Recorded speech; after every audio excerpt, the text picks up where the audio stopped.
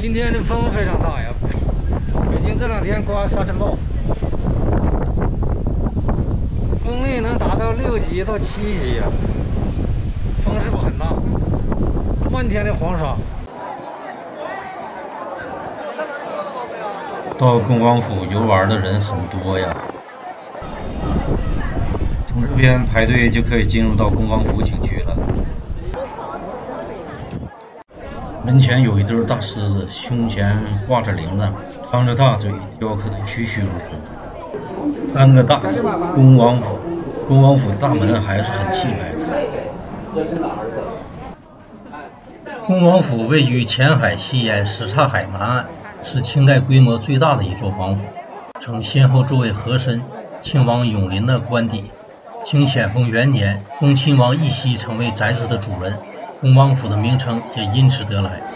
恭王府及花园经历了清王朝由鼎盛而至衰亡的历史进程，故有一座恭王府半部清代史的说法。银安殿俗称银銮殿，恭王府最主要的建筑，作为王府的正殿。只有逢重大事件、重要节日时方打开，起到礼仪的作用。最初的银安殿连同东西配殿在内的整个院落，于1921年正月十五元宵节夜因烧香失火被毁，现银安殿院落为复建。银安殿东西有配楼，各广九间，覆灰瓦。历史上只有裕亲王府如此，其他王府最多面阔七间，还有更多是单层建筑，面阔五间的。银安殿檐角上的垂脊兽为七个，郡王五个。银安殿后为嘉乐堂，是王府中路的最后一进正厅，五开间，硬山顶，前出廊，大门正上方悬嘉乐堂匾额。嘉乐堂是和珅时期的建筑，目前仍悬挂嘉乐堂匾额一方。该匾疑是乾隆赐给和珅的，但匾额无署款，无前记，故无证实。但和珅留有嘉乐堂诗集。说明是和珅之世名。在恭亲王时期，嘉乐堂主要作为王府的祭祀场所，内共有祖先、诸神等牌位，以萨满教仪式为主。目前嘉乐堂已经改为展示。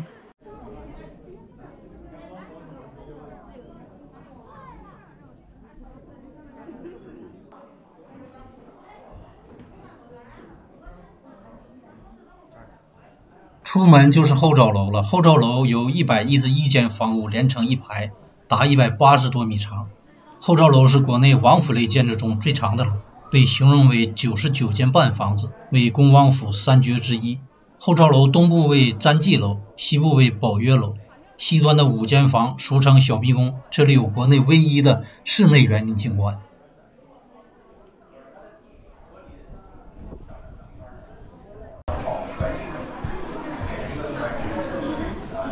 你会发现这边这个墙要非常厚啊，看没看？这就是当年和珅手里面藏宝的墙，这个位置，这里面都是藏的财宝。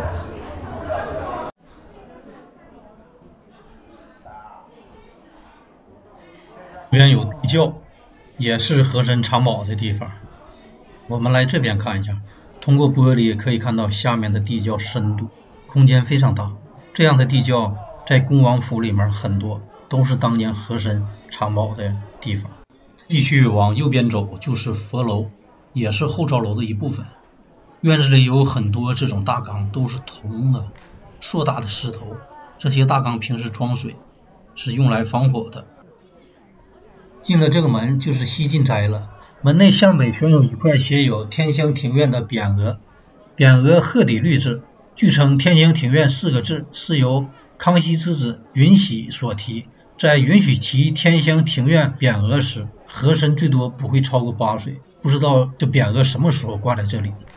西进斋也就是和珅时期的嘉乐堂，曾是和珅的住所，在庆王和恭亲王时称为庆仪堂。直到小恭王溥伟时，因斋内存有近代大文人陆机手书的平复帖珍品，方改称为西晋斋。平复帖是近代大文人陆机的真迹，乾隆年间藏于内府，现藏故宫博物院。和珅二十大罪中第十三款，剑齿鱼制的楠木殿，至今依然存留了主要部分。金石楠木的室内装潢用料考究，耗资巨大，名贵的金石楠木千年不腐，高超木作工艺精美绝伦。这样的奢华装饰与故宫宁寿宫类似。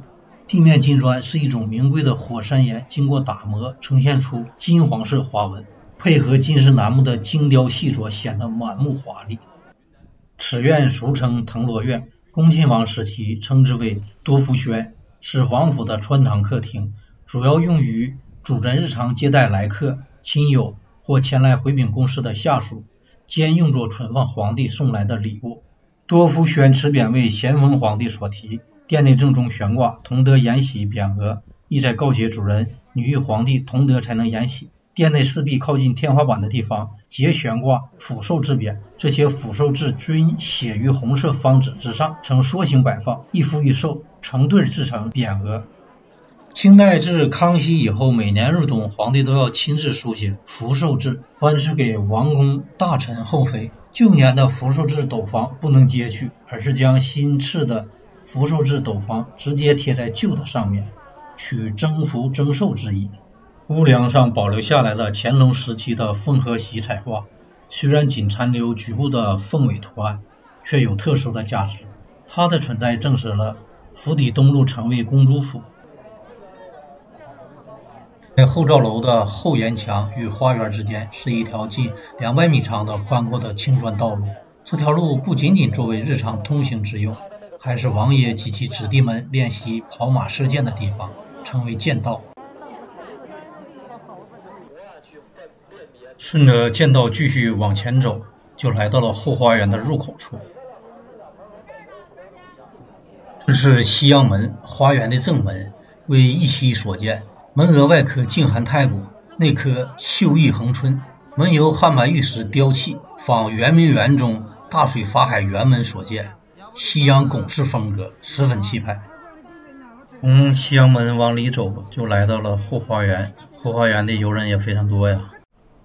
走进花园，你会发现有很多的假山，幽深僻静的小道两侧叠石成垒。沿着小路继续前行，就来到了浮池。这个用青石围砌成的。蝙蝠形大水池旧名福河，后称福池，又因形状像元宝，也称元宝池。水池的周围种满了榆树，每到春夏之交，榆荚飘落，状似铜钱的榆钱儿落满福池，谐音福钱满盈，寓意是富贵双全。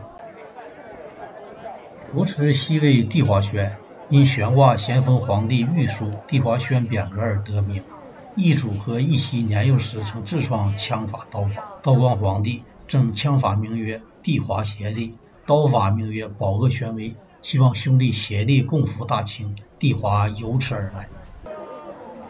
福池周围有很多的亭台楼阁，很多建筑上都会有蝙蝠的图案，和珅不敢用龙的图案，所以园内到处都是蝙蝠，斧同福。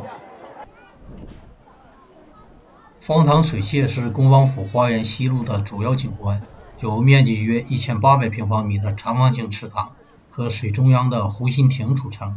山中凿泉引水，自池塘三个不同方位的石刻龙头流入池内。